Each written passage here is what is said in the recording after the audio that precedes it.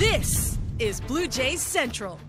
Grichuk's throw toward the plate, up the line, and the Tigers take the lead. Blue Jays fall to 39 and 45. After a split decision with the Tigers, the Blue Jays welcome one of the team's all-time greats back to town.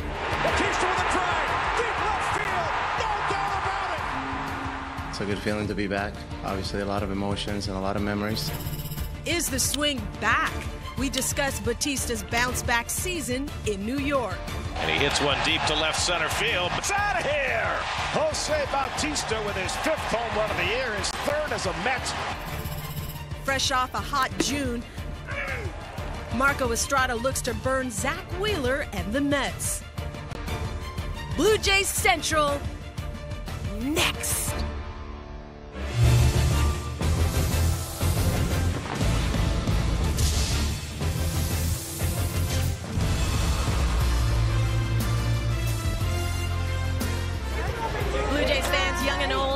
In full force, ready to welcome home one of this franchise's greatest players. It is the series opener between Jose Bautista's New York Mets and your Toronto Blue Jays right here on Sportsnet. So great that you join us inside our Samsung broadcast studio right here at Rogers Center in downtown Toronto.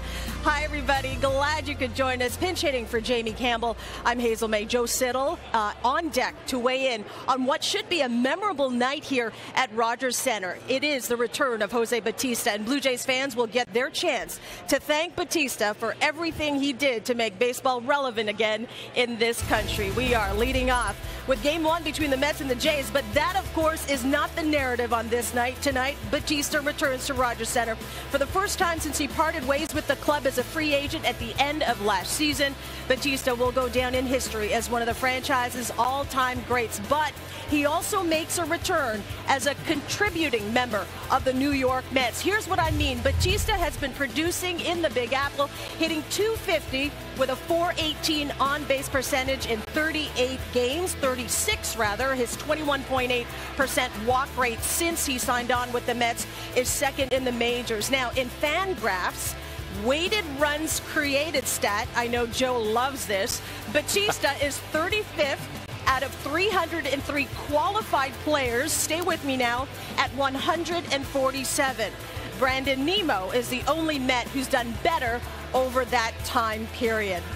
Let's quickly get down to field level where Arash Madani is standing by. Arash, you were there when Bautista made his first public comments here in Toronto wearing a Mets uniform. Yeah, and Hazel, the week really for Bautista began on Sunday night. That's when the Mets arrived here in Toronto. Yesterday, he spent his off day visiting some old friends, going to a couple of his favorite restaurants in the city. And he said, This, this is my home away from home. And for Bautista, this return has been full of nostalgia. It feels great. Uh, feels like nothing's changed, so it's a good feeling to be back. Obviously, a lot of emotions and a lot of memories, so um, glad to be able to enjoy those. It's different, a little bit strange, but I guess in this world and this sport, I guess you gotta adjust and try to be comfortable in any setting that you might find yourselves.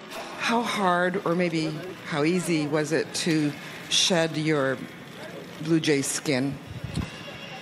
Well, I don't think you ever um, do that once once you've played in one place for that long. But it was again tough, just because it's you're not what you're used to. Um, you even feel like the other uniforms look strange on you, uh, even the colors. So, but it's an adjustment, and I'm still going through it. I think we had some successes. I had a lot of memories, and I get to share that with the fans. That's that's kind of the bottom line. The bottom line has always been the bottom line when it comes to Bautista, who injected a little Joey Bats. He said, I know I can still play. Hazel referenced how well he's been at the plate of late. He said a point of emphasis coming into the season when he was working on his own. Don't forget, he didn't have a spring training, was cutting down on the strikeouts. He said, That's what I learned last year. I'm trying to get more walks. That was something that was prevalent when Bautista was a Blue Jay. He said the highlights, of course, were the bat flip and home run number 54, and he is not alone. Easily one of the most prepared guys I've ever been around.